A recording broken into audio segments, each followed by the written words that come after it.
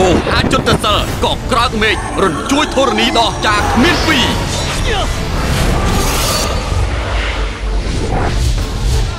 បងស្រីទាំងអស់គ្នាមកចេញចាប់សោភ្លាមការពារជីវិតលីវហើយជិះម៉ៃមានគេលើក៏ឲ្យឲ្យហើយឲ្យស្លៀកពាក់ខ្ញុំមិ នណានេះគឺកញ្ជ្រោងបិសាចប្រយុទ្ធប្រហាក៏ក្រើកលន់សន្ធឹកពេញទីវេហាលើលោកនេះមានវត្ថុទៅម្យ៉ាងអាចហៅវិញ្ញាណមកវិញមុនពេលខ្ញុំរកបន្ទាត់ឃើញត្បូងនោះដាច់ខាតពុកចេញពីសមារខ្ញុំរៀបចំឲ្យសោះ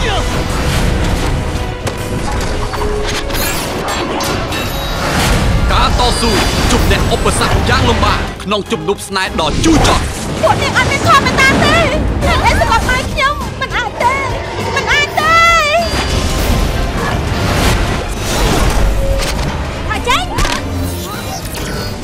សូមរងចាំទស្សនាខ្សែភាពយន្តយុទ្ធសាស្ត្រភាពបុរាណចិត្តដ៏ពិសេសដែលមានផ្សាយជូនទស្សនានាពេលឆាប់ឆាប់នេះលើកញ្ចក់ទូរទស្សន៍ហងមាសនិងរស្មីហងមាស HD TV